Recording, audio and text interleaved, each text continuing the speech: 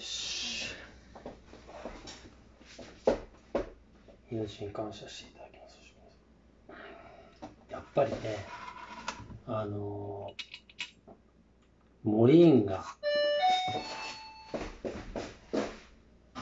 あ、お願いします。あお願いします。ちょっと待って。うわ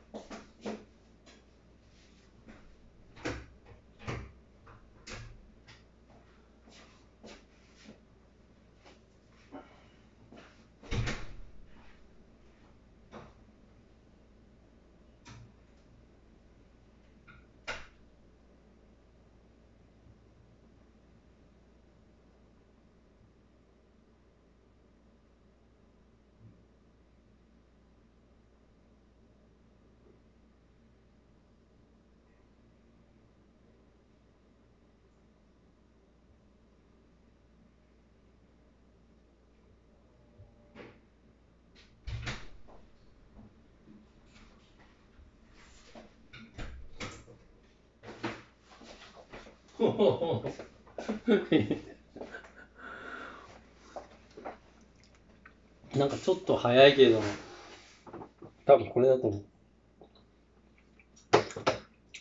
東京のお友達が、ちょっと早いけど、な、お歳暮だったっけ？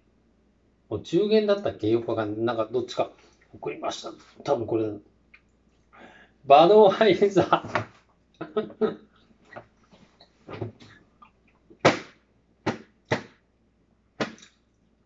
懐かしいね。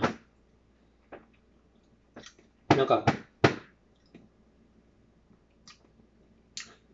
懐かしいね。なんかこう、アメリカ、な、なんかアメリカ時代を喋るんで、森川の話しようと思う。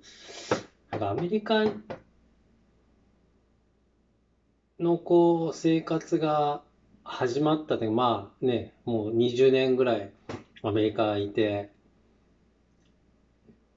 ね、生活でこう、まあ、ガキのね、クソガキだったんでね、俺もね。まあ、そう、まあ、バドワイザーとか、ああ、ハイネケンとか、クワーズとか、ね、ほんで。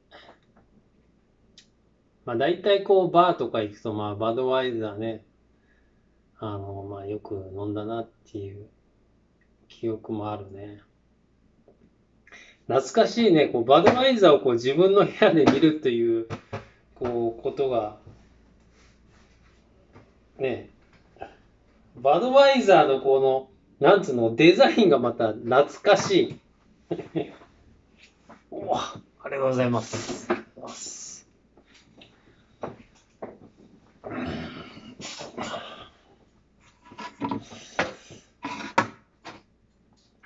あ、俺なんか違う話しよう。ちょっとモリンガーなんですけどね。モリンガー、モリンガーの、いろんなね、なんか詳しい人たち、やっぱほら、俺ってクソみたいな素人なんで、俺何もわかんないわけですよ。適当にやってるような感じだからね。だからでも、いろいろこう詳しい人たちがいろんな意見をもらってると、なんかそうなのかなってやっぱ思う、こう、点がいくつかある。というのは、一つ言われたのは、セリさん根っこ見てくれって言われたんですね。で、俺はね、根っこ見てもどう、その、基準がわかんないわけですよね。あの、その根っこを基本的に見ることがないから、そう植えるときにこうやってパッて見る、一瞬見るぐらいで、そう、根っこを見るって、一回掘り出して根っこ見た方がいいよって言われたの。それ何人かに言われた。で、なんでみんな根っこ見ろ、根っこ見ろって言うのかなっていう気はあったんですけど、みんな同じこと言ってこれなんか意味あるんやろうなって思い出した。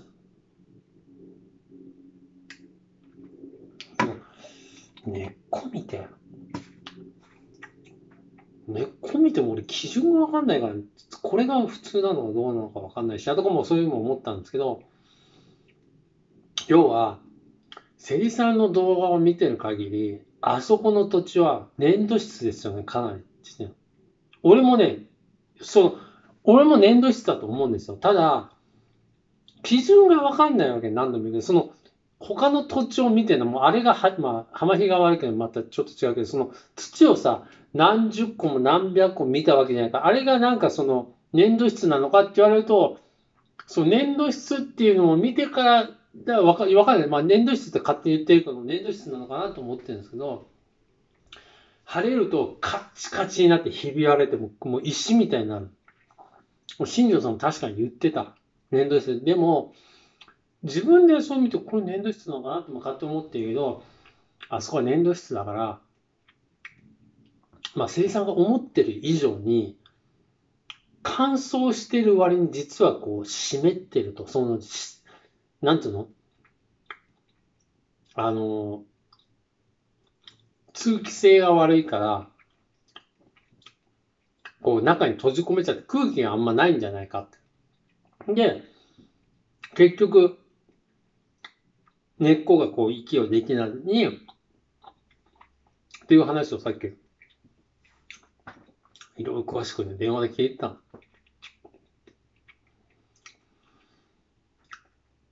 なるほどなって、やっぱみんな知ってんのかな。俺ほら、まあ俺がまあね、何にも知らないクソみたいなね、素人なんで、あんまりこう、まあやりながら失敗していけばいいやっていう感じはあったんですけど、やっぱりこう聞いてるとこう、なるほどなって思う点がいくつかあるね。やっぱ改善していくためにもやっぱ一応聞き入れて行動していってやっていかないと植物なんてそのシーズン逃したらまた時間かかるわけじゃない。だから、なるほどなって思ってこう耳をこう大きくしてね聞いてたわけですよ。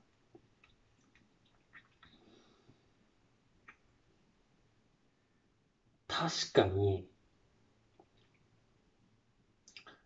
俺ね、なんで最初の成長は良かったのに、土に植えて雨が降った後、言われたんですよね。せいじさん、雨が降った後、大雨が降った後ですよね、みたいな感じでメッセージこの、まあ、来てて、確かに、あの大雨の前は全然良かったよなと思ったんです。だ雨が降ってる時は土が柔らかくて、まあ、空気が入ってるのか分かんないけど、そういう状況なわけじゃない。それがこうやって晴れていくと、どんどんどんどん乾燥していって、土が締まっていく。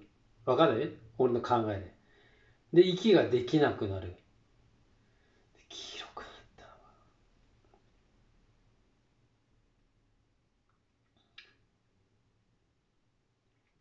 たあ、俺言われたもんね。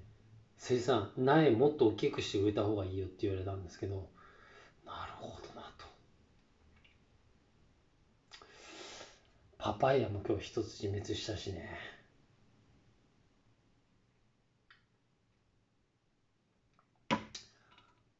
豆か植物か。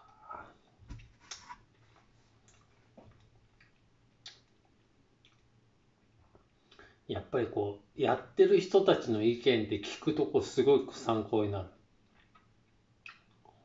うん。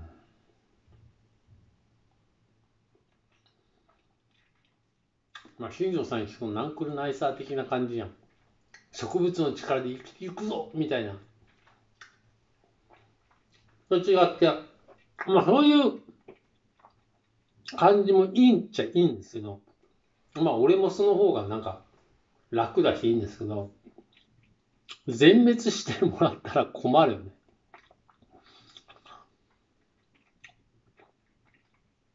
ま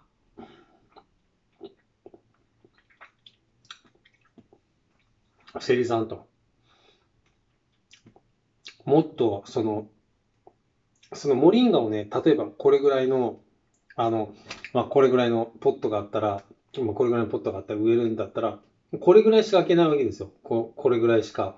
じゃなくて、先生はもっと周りを大きく耕して植えてみた方がいいんじゃないって言われたんで、なるほどなと。そうしますって。でも、もちろんそれもそうなんですけど、ポットのやつも全部枯れてる。下が粘土なんですよ。要は下の土を使ってるからね。俺はそこまで計算ずに、その下の、結局その畑に入れるから畑の土に馴染ませるときに同じ土を入れようと思って、下の8分目ぐらいを全部畑の土で、上をカバーするのに、えー培養土をふっとかけたような状況だったんですけど、結局同じ土で熱くなって乾くと、いや、確かに大雨の後枯れ出したもんな。根っこやな。根っこ根っこって言われる今、俺なんかすごい分かってきたような気がする。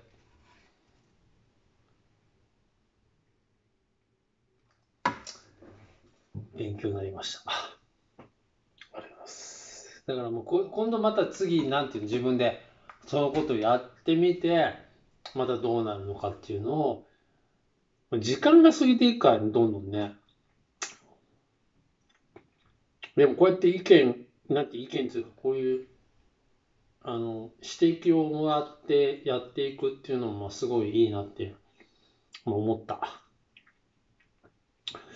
今日皆さん楽しい一日、安全な一日、1分1秒大切に、残り限られた人生を地球のために使ってください。